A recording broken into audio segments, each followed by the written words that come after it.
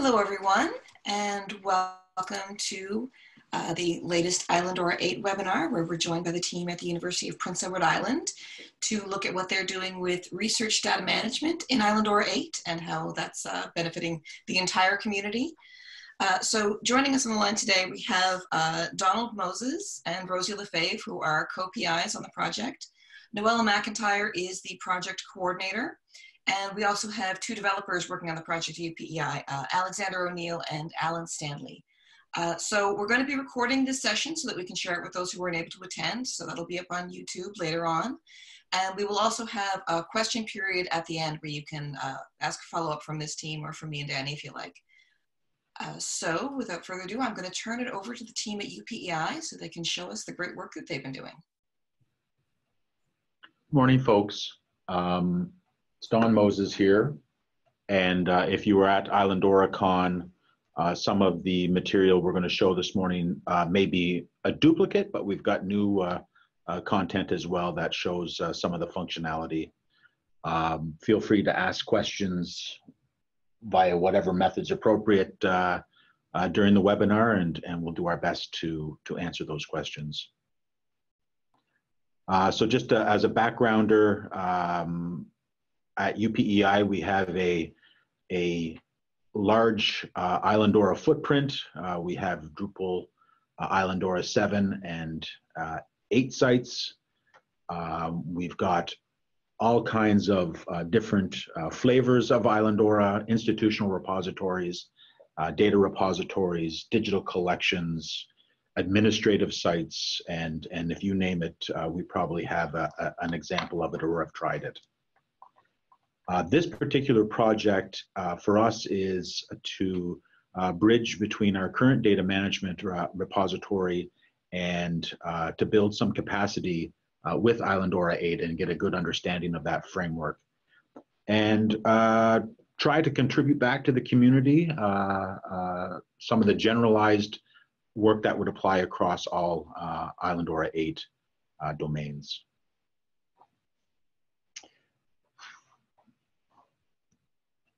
Uh, I would like to thank CANARIE, who has provided support for this project.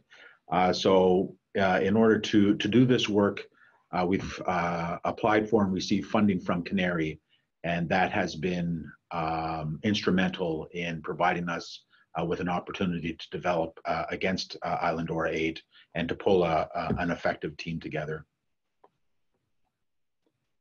just as a, a note, uh, and it's probably in our future notes as well. Uh, we've also put an application in for the next uh, funding call uh, for the research data management platforms um, and hope to be uh, funded uh, again.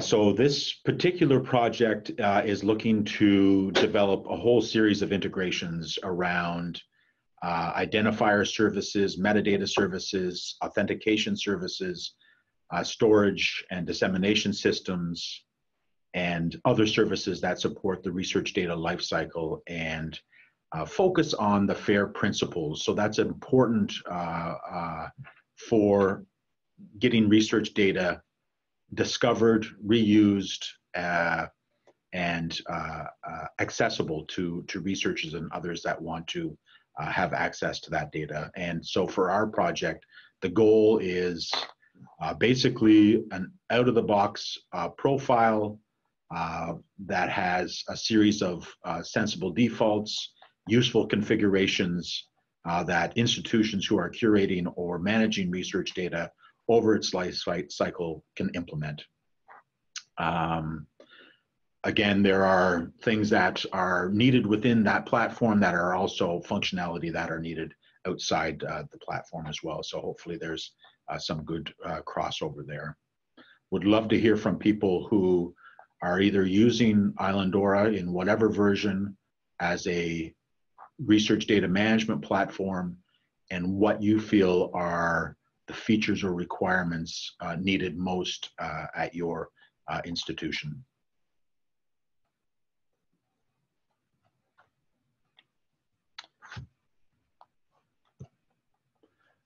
Uh, so this is a simplified uh, research lifecycle diagram.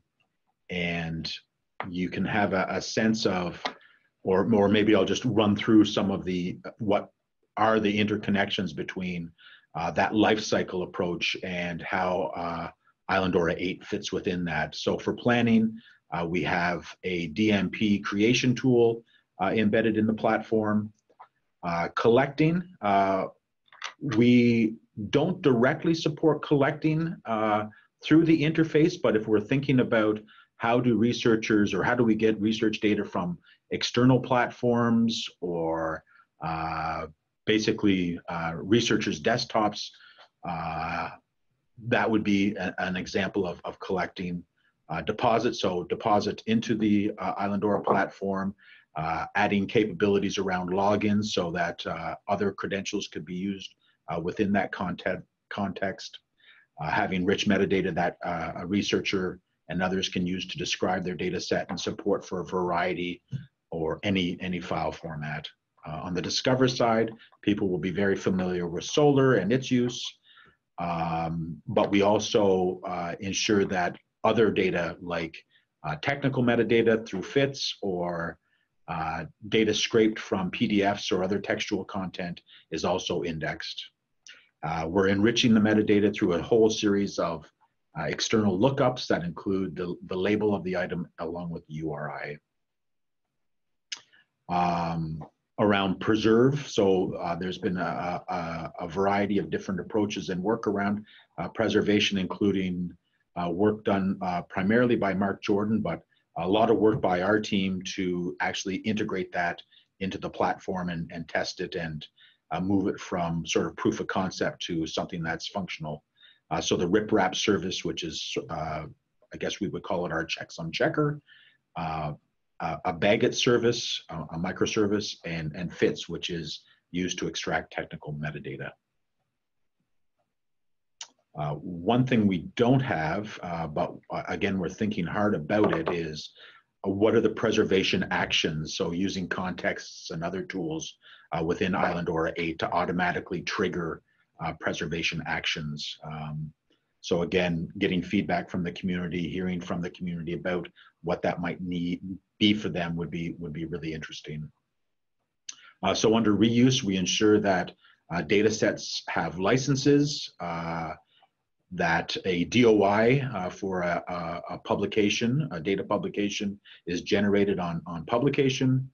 Um, the metadata we have within the repository is, is basically Drupal file fields, but we uh, export a DataCite XML file to uh, DataCite, and that's aggregated through their uh, uh, data search service.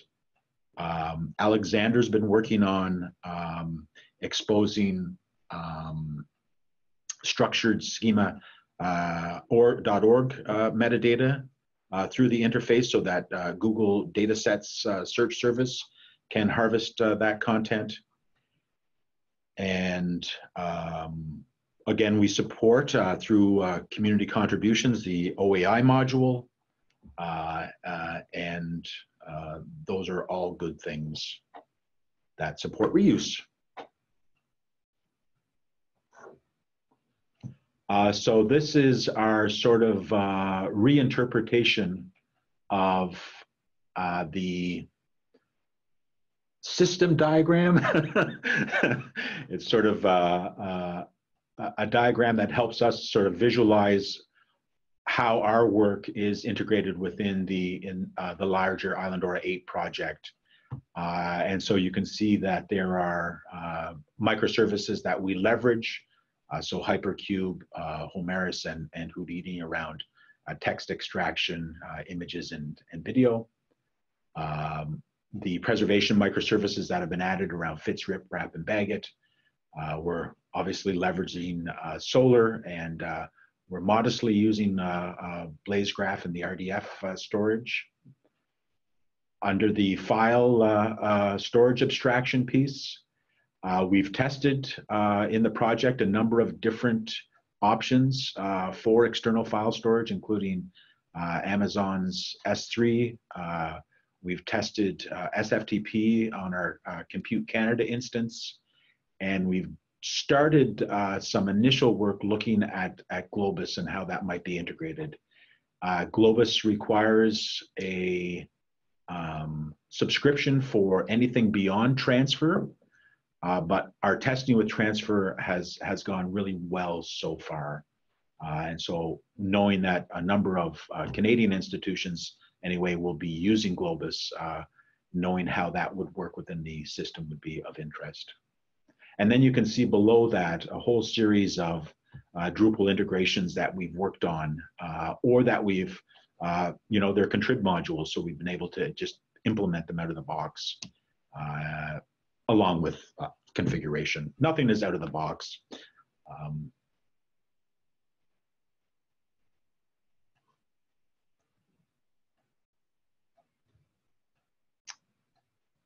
So this is just a really simplified uh, uh, diagram of uh, the content types we've been working on, uh, including a content type for a data management plan, uh, a content type for a research data set, and, and another for funding. And uh, within the data set metadata, DataCite includes a related um, item type element within the data set. And so uh, we can reference other, uh, whether it's other things that cite the data set or that are cited by, uh, something that's the same as, um, and, and or is a derivative of, and, and so on. Uh, so there's, uh, I think, an opportunity for some rich uh, relationship metadata within the framework. But we're just starting to explore that.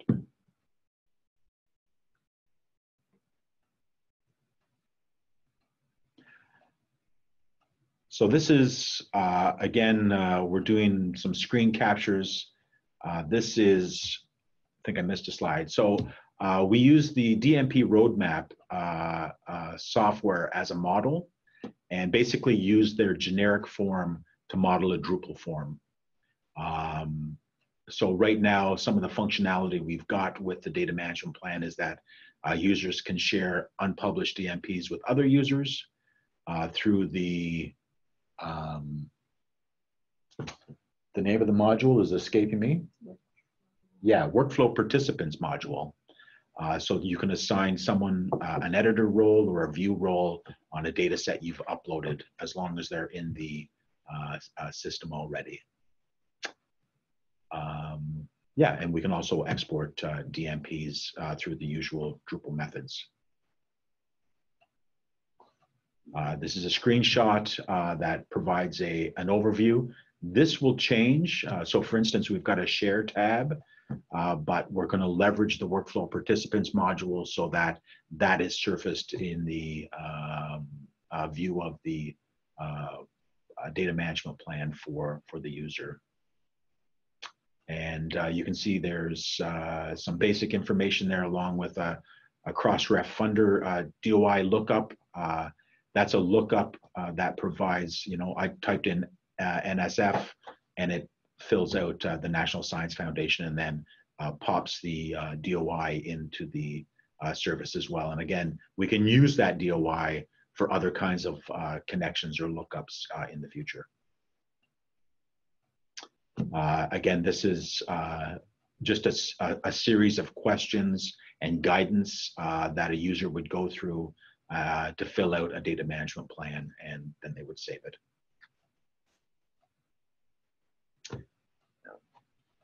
Excuse me. Um, one of the options uh, uh, uh, for users to log into the system is that they can log in with their ORCID credentials.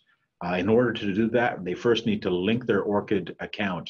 Uh, so you need to log in as yourself and then uh, go to your profile and link your ORCID account. Thereafter, uh, you can log in uh, using ORCID. And here's a video. Let me know if this works or doesn't work for folks. So just going through, I clicked on the login using ORCID. I'm logging in with my username and password. And it goes back uh, to our system and says, hey, you're logged in. Welcome.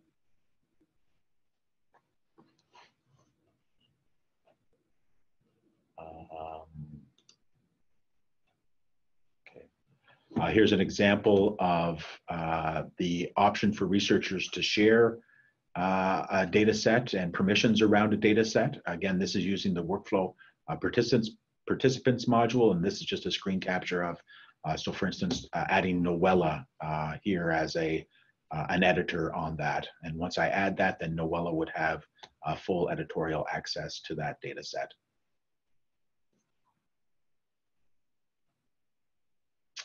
Um, we're doing our best to add uh, rich metadata around uh, data sets, um, again, to make them uh, discoverable, to have them fully described. Um, and uh, again, we're modeling it based on the DataCite uh, 4.2 schema.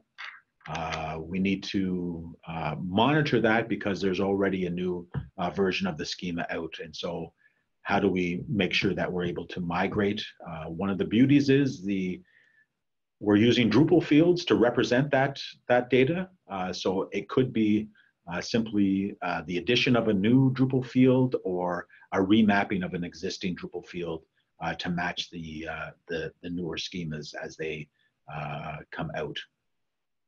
Of course, there may be other bigger changes that we don't anticipate.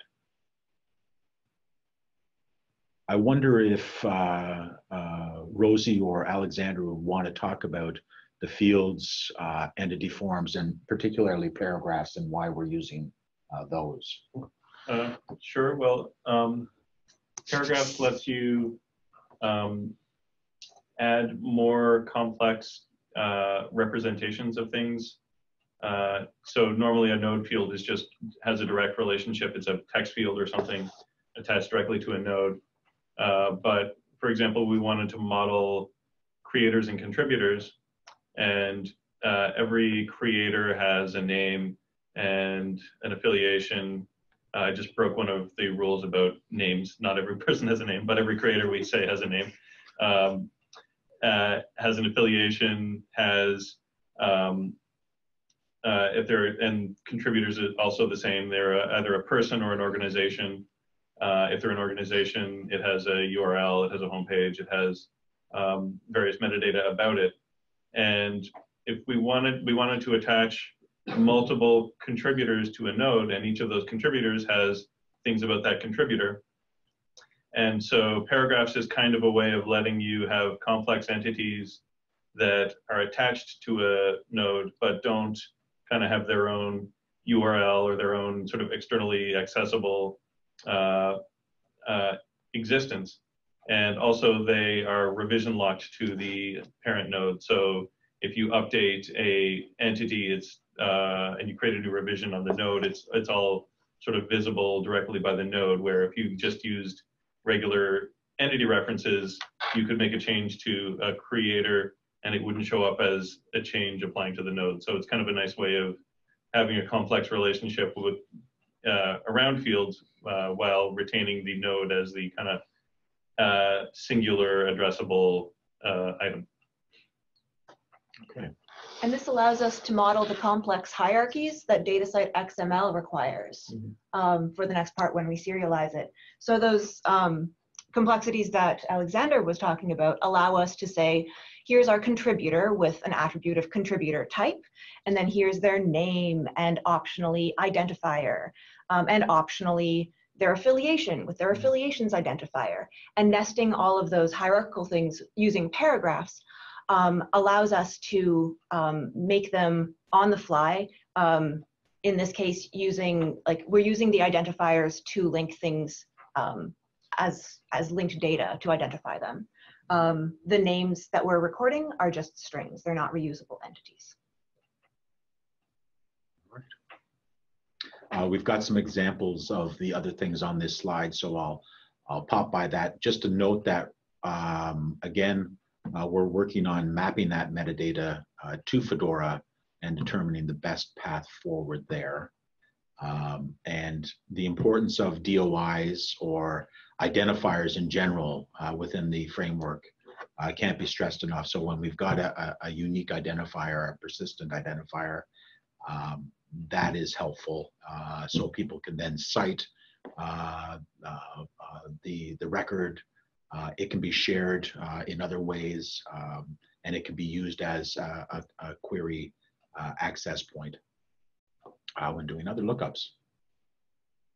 Uh, this is just an example of uh, one of the widgets that the team built. this does a lookup of the Library of Congress subject headings. And basically, once you select a term, it automatically populates the associated uh, URL uh, for that uh, authority.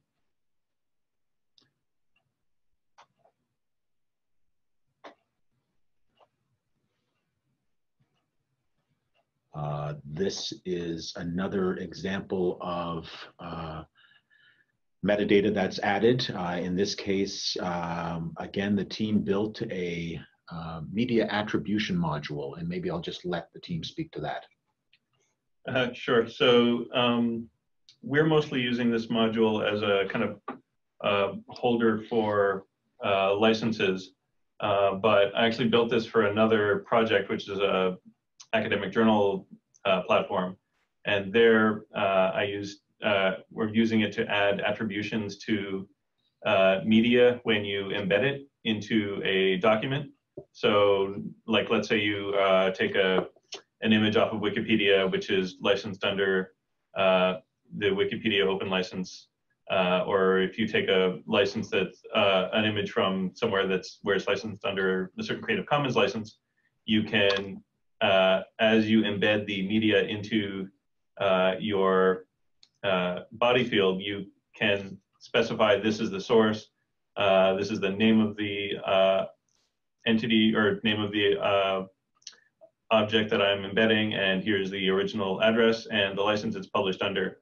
And the uh, entity or the media attribution will kind of mark it up in the way that using HTML5 tags and proper kind of block quote syntax uh, around that, which we aren't really using directly right now, but it's kind of a, a, useful way to think about, you know, when you include content in your Drupal site uh, using media, all of that content should be properly attributed, and this is kind of a good sort of shortcut around that. But also, if you just want to tag a piece of content with a license, this uh, provides a taxonomy and a way of uploading licenses using a script for that. And just as an example, I added the Open Government License Canada to the taxonomy, and then it's accessible uh, within the interface. And I missed a slide, so I'm just going to go back one. Sorry about that. Uh, this is just, uh, uh, uh, there is a, a DataCite XML rendering of um, the dataset objects within the repository. And so there's a, a, a URL endpoint for DataCite XML that people can, again, use for particular purposes that we might not know about yet. Uh, just uh, a note on funding information uh, that uh, um, we've integrated it into uh, the dataset metadata form so that users, if they know what their funding information might be when they're entering that data site or, or data set, they can add that funding information at that point so it's not disconnected. And there's a an option in, in again, that Alan Stanley built uh, that does a query of uh, Crossref's, uh, FundRef uh, uh, uh, data. Um, and I'm just catching up here, sorry. Yep. So for whatever reason, when I push the button, sometimes it works and sometimes it doesn't. I'm not seeing a slide here, but that's okay. Uh, we'll share the slides out uh, after the uh, uh session and uh, feel free to, to look at those. Um, this is uh, how we're making our data accessible. so again, this is a, a, a, Solr configuration. I don't know if the team wants to speak to that at all. I don't know if folks in the community are integrating all kinds of metadata, but for us, it's uh, the data set metadata, but it would also include things like uh, the technical metadata, so things scraped out of FITS, uh, and it would also include uh, any textual uh, content that might be scraped out of a, um, a PDF or other textual record. You can see that we're leveraging facets. Um, and again, we don't have a whole bunch of search data, so it, it, it, just basically provides a, a proof of concept that, yep, this works as, as, uh, as expected.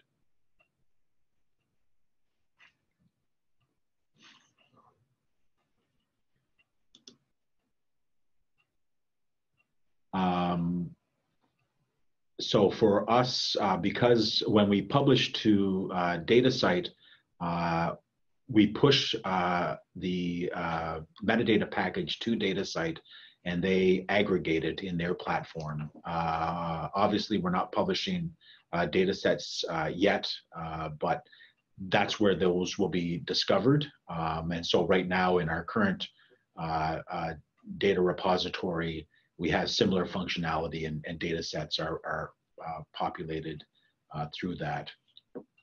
Um, through the OAI PMH, uh, the REST OAI PMH uh, module, uh, we can uh, expose our data for harvesting.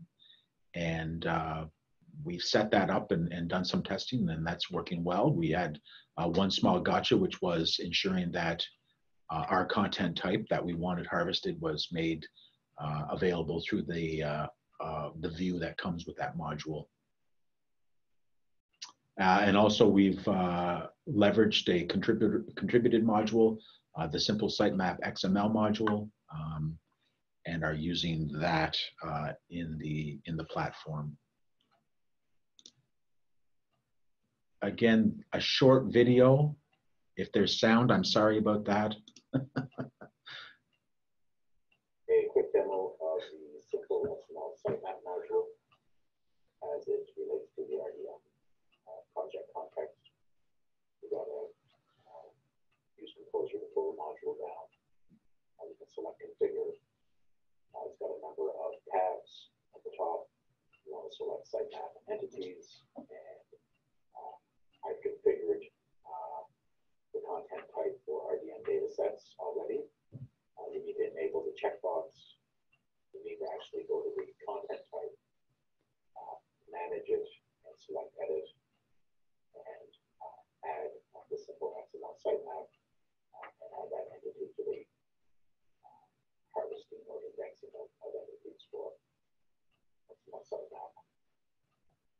Uh, you can back to the configuration simple XML sitemap, and you can rebuild uh, your sitemap and view the results. That's what it looks like. All right.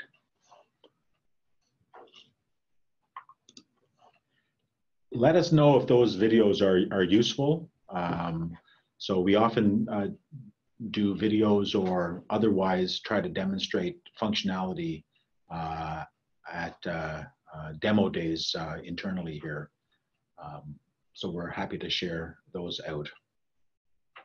Uh, under preservation strategies, um, uh, the team, primarily Alan uh, Stanley, has worked on a whole series of microservices to support that um, aspiration within the framework.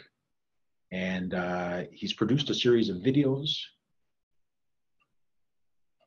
and that one's not showing up. uh, it's there. Uh, so again, maybe I'll I'll uh, I'll just have a. I don't know if I can escape out and show that separately, Melissa, but um, I'll just uh, uh, pass over this one for now. And if there's time at the end, I'll pop out and and see why that's not uh, displaying.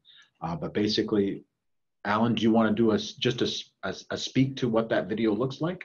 Oh, sure. It's uh, it's a microservice that's set up with the, uh, the usual arrangement of actions and context so that when an original file is ingested, uh, the, uh, the microservice uh, queue fires off request uh, to the, uh, the FITS web service, brings back XML. We parse the XML out so we get something that's, uh, that's easy to read.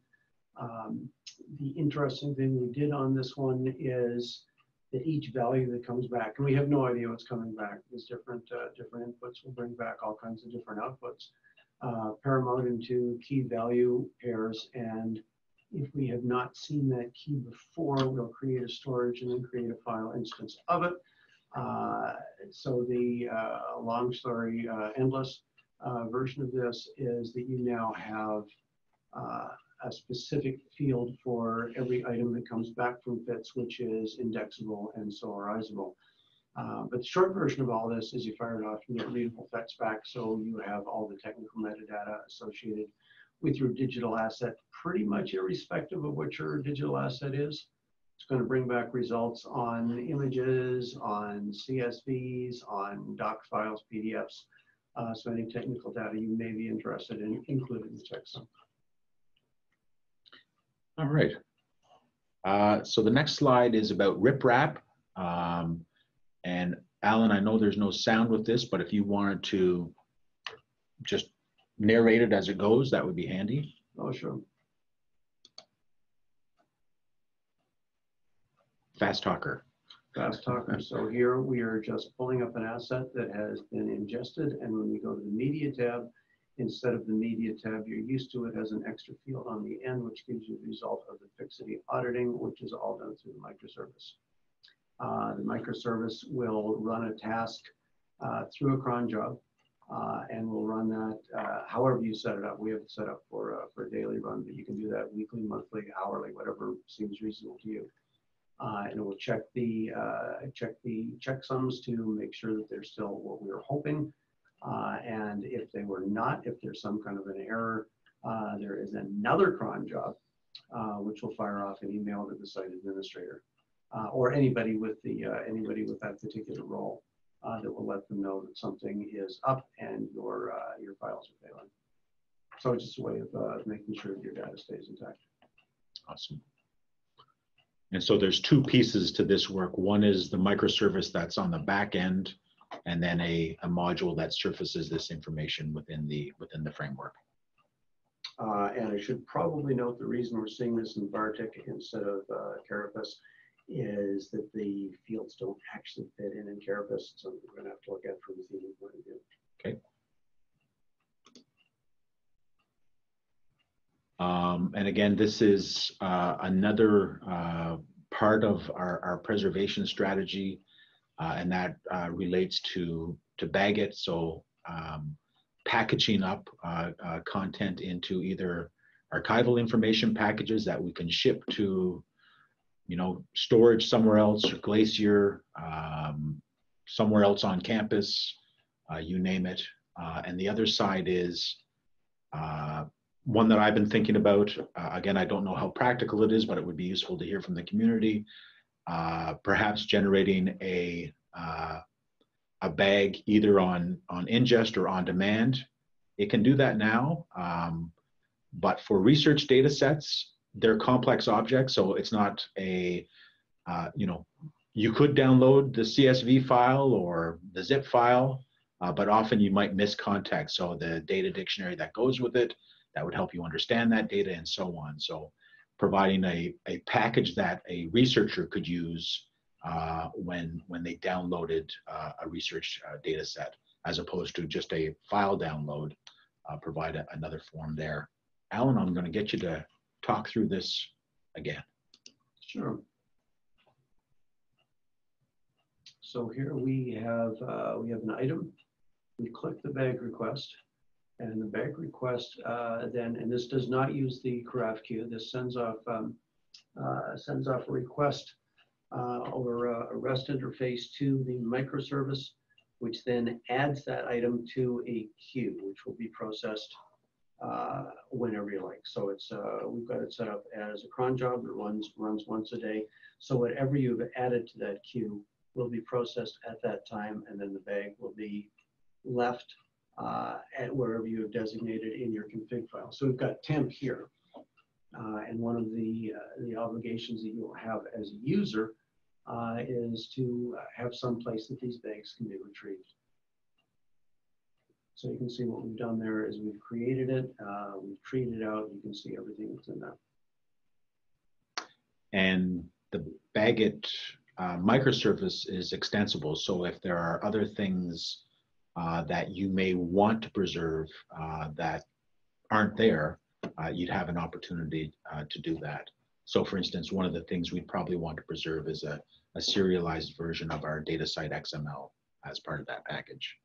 Yeah, and the other important thing about this microservice is you're not confined to a single configuration. The configuration is pulled for each object which is run. So you may well have a different config that you want to run on different content types uh, or whatever reasons you have for yourself. But the uh, on every run, a very specific uh, configuration file is read in. Uh, so it can be, you can have as many of those as you like. You can set up as many contexts as you like. So you can see that there's some some work around uh, the BagIt piece that still needs to get done. Um, and if you're using BagIt uh, within an Islandora 8 context, uh, it would be great to hear from you. So why are we pursuing this project at, at UPEI? Um, so I think one of the things uh, we're using this project for, and uh, again, a lot of our other projects are, are similar uh, in nature in that uh, researchers are in their own labs, uh, they're in their own departments. Um, so it's an opportunity to remove barriers uh, so that we can have discussions with uh, researchers, we can help them manage their research data. Um, we did a survey a couple of years ago now, and there is a need. so, you know, people have hard drives in their file cabinets or they're using flash drives or uh, Dropbox or you name uh, whatever external file storage option there might be, uh, researchers are using that. And so how can we help facilitate an improved uh, uh, approach to uh, stewarding research data on, on campus?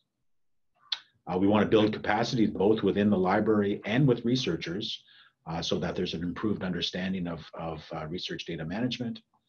Uh, you know, one of the reasons we've got a, a data repository is that our researchers are doing great work and we want to make sure that that work is uh, surfaced for our local community, but also for uh, other international researchers. We're known for lots of different things. Um, you know, we're leaders in aquaculture research, for example, and epidemiology around aquaculture. Um, so you can imagine lots of data around that, climate research, uh, lots of data around that. How do we make sure that that gets uh, uh, shared out uh, appropriately? And again, we want to encourage reuse and we want our, our researchers to get citations on their, on their uh, data that they're producing. And data is valuable. Um, so a lot of effort goes into creating data and, and managing it. And so uh, making sure that it, it's stewarded is, is a good thing.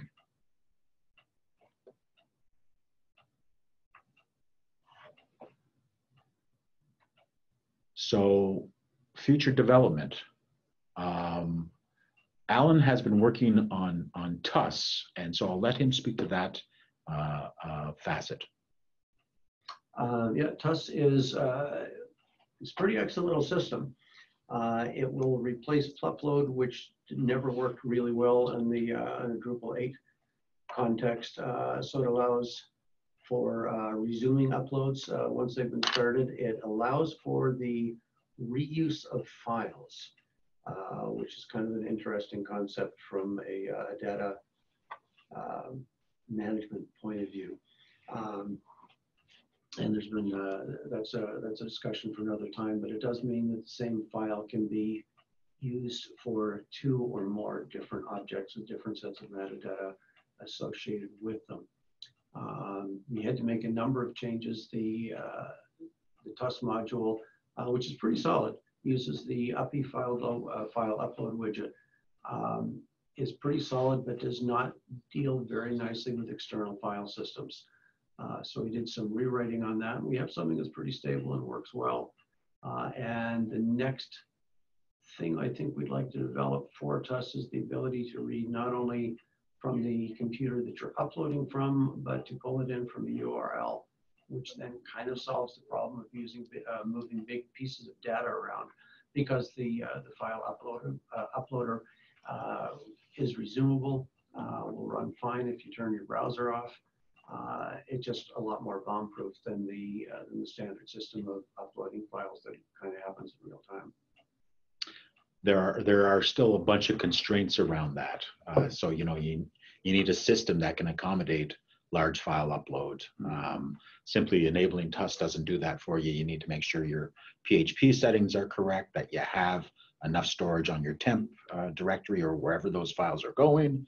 Uh, and so again, still more testing uh, required there. But if that's your use case, um, we're we're we're happy to see that TUS is, is a potential option for us and potentially for the community because it would be useful generally uh, within the community uh, because of those uh, uh benefits that uh, it brings to an upload process.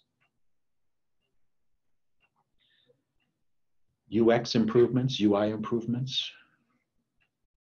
Um, We're always thinking about making this a system that the users will enjoy using um, rather than having to learn our complicated data models and the ideas of media and how those work.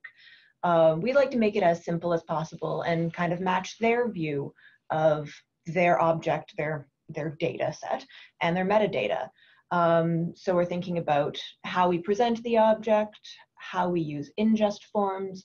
We know that Danny is actively working on that, so we're excited to see those results. Um, and in general, making the you know search and navigation something that is intuitive and uh, easy to use. We're also um, looking at uh, improving the base, the carapace theme uh, to just sort of uh, deal with some of the things that uh, we think could be improved in that too. So hopefully we can contribute some of that stuff back. Yep. So I think you know, as a as a person, I would call myself a, a user uh, in in on the team side here, and and uh, Noella as well. Just using the system sort of highlights um, what I would feel are some issues. So I, I'm I'm uh, probably not a good tester because I'm accepting of things that don't work 100%, and I recognize that okay that that that might be fixed or that is fixable. Uh, but I think we really need, uh, again, within Islandora itself as well, some sort of user testing that is uh, not so uh, forgiving. Uh, that you know they'll tell us, "Wow, this is a, a, process that really stinks." You know, I have to fill out all these forms, or how can we simplify it for for the user? So making them fill in, for instance, a title uh, for media again, when we might be able to use a token to populate that um, there are some architectural pieces too that we've been uh, struggling with a, bit around, uh, you know, nodes and, and media and just our own um, uh, model of, of how we're trying to imagine uh, research data sets. Again, they're complex. Um, there may be a number of original files, so you can imagine that data might be collected annually. And so there's a data set that has, you know, 10 years worth of data and each year is its own data set. Uh, there would be supplementary information included with those data sets. Uh, that might be data dictionaries, um, mapping of, of uh, uh content, other uh, concerns or considerations around the data that need to be shared. Um, so I think trying to understand that uh, will be generally helpful for the community. But again, would love to hear from the community because I'm guessing other people don't have one-to-one uh, relationships with their their content. Yeah, and so just the uh, the final thing is, you know, our hope uh, for uh, a successful uh, application for the submission we had for CANARIE's RDM call, and so we're looking at adding additional functionality uh, uh, to the platform uh, with that call. I think that's it. Uh, that's our public uh, space where we blog about uh, Uh, the project. Uh, thank you to Noella for keeping that uh, updated. And you can also see how we are basically highlighting how fair the, the platform is and how it adheres to the to the fair uh, guidelines. Would be happy to hear if there were any questions from folks. You've got the team in the room. I'm seeing there was a comment uh, in the chat from about 15 minutes ago that the audio quality got bad.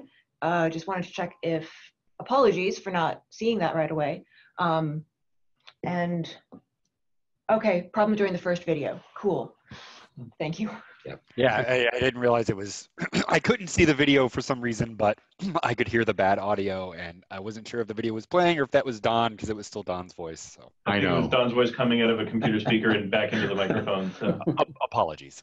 No, I'm I'm sorry about that. I should have killed the video or the audio on that one. So we're happy to take questions if anybody. Anyone?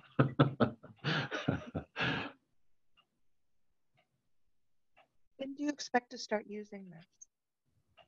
When do we expect to start using it? That's a great question. So the, the grant funding uh, on the current project ends March uh, 2020. Uh, One of the tasks we have to uh, complete before uh, the end of uh, the project is a migration of our current data platform to the, the new platform. And so it's not going to be a uh, uh, a sort of a straight uh, transfer in that we're, we're not using DataCite uh, in our current uh, data management platform. So there's going to be a, a mapping requirement uh, from the, the metadata schema we're using there to um, the new. So that work needs to be done before the end of, of March. And I would anticipate that after that, you know, all things being equal, uh, that we would be able to do a, a relaunch of the platform on Islandora 8. I mean, we want to get an example of a production Islandora 8 platform out to the community so that they can see uh, the uh, capabilities uh, of, of the platform. If that sounds fair.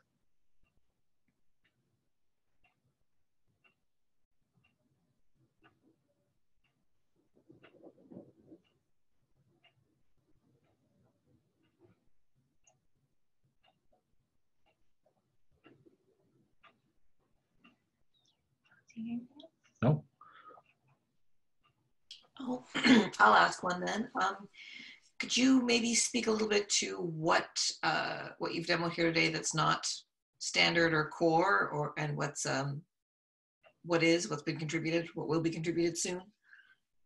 I know some pieces from this are coming into Islandora 8, and just to give the audience a sense of what what they get out of the box and what you've done yourselves. Okay, maybe I'll, I'll, I'll, I'll Go back to the ant. go back to the ant diagram. I don't know if that's helpful. Um, So I think a lot of the really custom stuff were our content types. Um, and you know, we made them for an RDM flavored Islandora.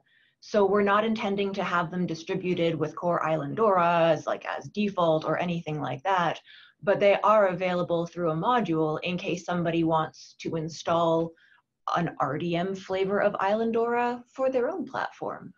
Um, so that includes our data management plan, our funding information, and our data set model, model, yes. Um, we also have the integration with DataCite, i.e. where we can turn our metadata into XML. We can send that out to them and get a DOI back, and they index our XML. Um, so that is one module that, again, it's available. Um, we will, we don't suggest turning on that DOI minting, of course, if you're just running a test site, and you do need some API credentials for that. Um, so those are some things that um, are not going quote unquote into core Islandora. Um, the things that are are mostly our microservices. So the riprap, um, the FITS, the Text extraction. text extraction's already in. Hypercube. Yeah, Hypercube integration. Um, so those are those are pretty fun. and very generalizable, of course. Um, there are other modules like the, our, our lookup, um, the thing that was using the Library of Congress subject headings. Um, right now, the module is called LCSH lookup, but it includes a lot of other API endpoint lookups other than LCSH, and we are going to refactor the name of that module so that it's a little more reflective of it. Um, but again, that's, that's available to anyone in the community, heck, in the Drupal community, who wants to do those kinds of uh, value plus URI fields, where you get that combo and you get a, an autocomplete from an external lookup. So like um, in anywhere I could, I tried to make a module not strictly an Islandora module, but be a, a module that I can put up on Drupal.org. So that was one, and the media attribution module is perfectly usable completely outside of Islandora, but also useful inside of Islandora, which I love about Islandora 8. Um, as well as uh, we had a co-op student who worked with us over the summer, and she created a field formatter for showing previews of CSV data, and that was all done just as a standard Drupal module. So I, I'm I'm enjoying the fact that I can kind of write those things and have them be useful outside of Islandora as well as inside of Islandora. There was a, a, a contrib module, the ORCID module on, on Drupal.org uh, that we have uh, taken over uh, support for. Um, the other lookups uh, that, that are uh, possible that again are just sort of surface at the, so there's a grid ID lookup, but that's actually a Wikidata, Wikidata lookup. So you can imagine that you could leverage that for all kinds of other potential metadata enrichment. So for us, we're using it to do a grid lookup uh, because uh, Grid doesn't provide a API for their database. Um, again, we're looking at things like, you know, part of the job I think is is sort of kicking the tires and testing a lot of, of things. So, for instance, Hypercube was part of Islandora 8 for a while, but hadn't been implemented.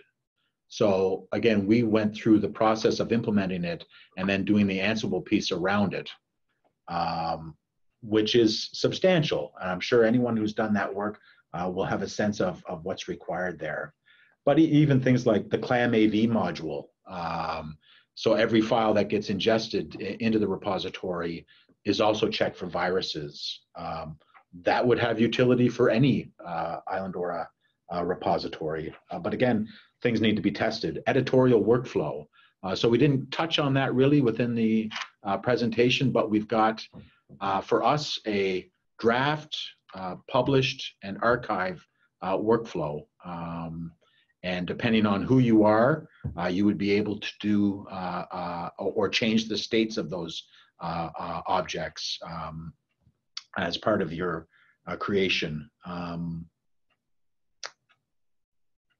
and so, for instance, for we can't let a user delete a data set um, because we have to maintain tombstone data. So if the data set's been published, we need to maintain uh, the metadata about that data set and provide a, a lifecycle message that says this is why the uh, media or the, the actual data set content was removed.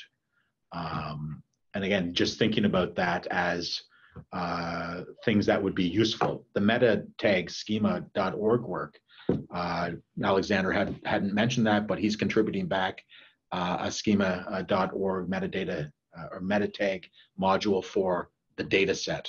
Um, and again, that's something that I think the community uh, can leverage tremendously. So I use the meta tag schema for um, exposing our Dublin core metadata through the REST OAI uh, PMH module. So there were a couple of options, and I used the, the meta tag module because you can basically grab your tokens and pop them into uh, those fields.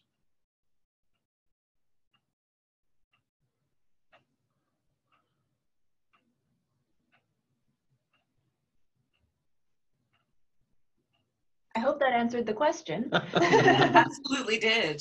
Um, are there other questions for, for the team? I know we're approaching time here, but we've probably got time for at least one more if anyone has something they'd like to ask or something they'd like to see more of.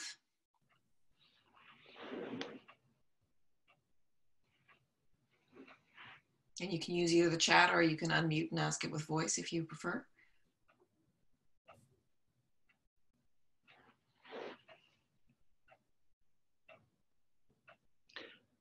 Anyway, I, I would I would welcome any feedback from from the community. Um, we're going to try to do a uh, more work on on on getting information out. Uh, so if you go to the GitHub, the github.com slash roblib, uh, we've tagged uh, modules uh, that are part of this project as Islandora 8 and RDM-085, uh, which is our project number. Uh, so you can uh, go to our GitHub and, and use that as a way to uh, corral uh, those modules together because we've got a lot of other modules in our in our roblib GitHub that are not uh, related to this project. So that'll give you a sense of, of how that works. We've got a playbook there as well.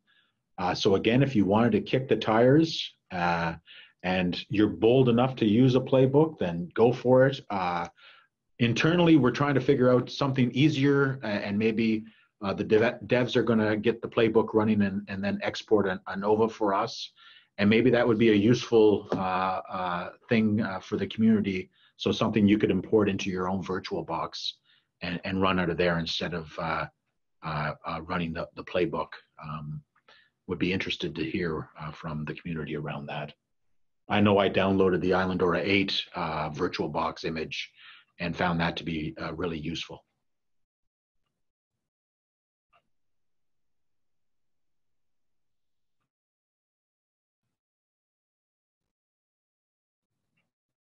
Okay. Post in the recording, I will also uh, gather up links and slides and contact information from the team afterwards and put that out for everyone who's attended and wants to follow up.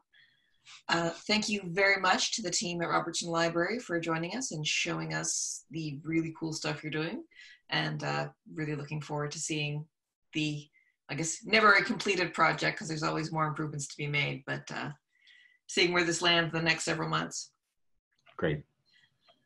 And uh, thank, thank you very much to everyone who joined us. Just a reminder, we will have another webinar in two weeks going over migration tools for going from Islandora 7 to Islandora 8. And uh, I'll share out that registration link in communications afterwards as well. Awesome. Cheers. Thanks, Bye bye. Cheers. Bye. Cheers. Thanks, guys.